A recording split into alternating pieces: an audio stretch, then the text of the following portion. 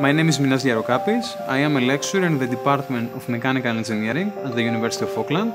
In robotics, I focus on robot grasping and manipulation, human-robot interaction, and in bionics, I focus on prosthetic devices and rehabilitation and uh, human augmentation devices. Today, we will see the new device, the new version of uh, the prosthetic hand, the device that will help amputees around the world to regain their lost dexterity by substituting uh, the lost limb with a prosthetic device.